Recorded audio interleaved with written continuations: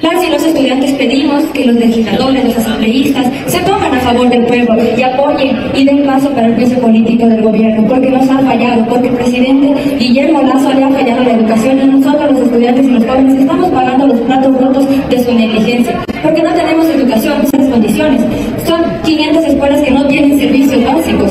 Son, son 19.000 estudiantes que están afuera del sistema educativo. Estudiantes secundarios estaremos haciendo una consulta popular estudiantil para demostrar que los estudiantes secundarios también estamos a favor de que se vaya Lazo.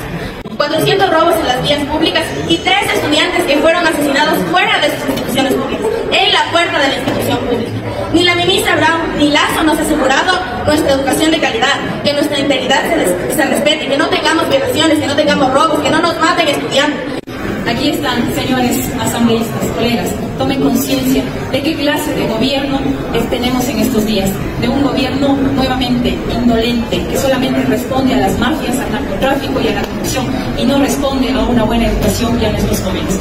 Están aquí la voz, más del 30% de niños, de jóvenes que están pronunciándose y están pidiendo que sea la Asamblea Nacional de la Constitucional, Institucional y Democrática tome la decisión de la destitución y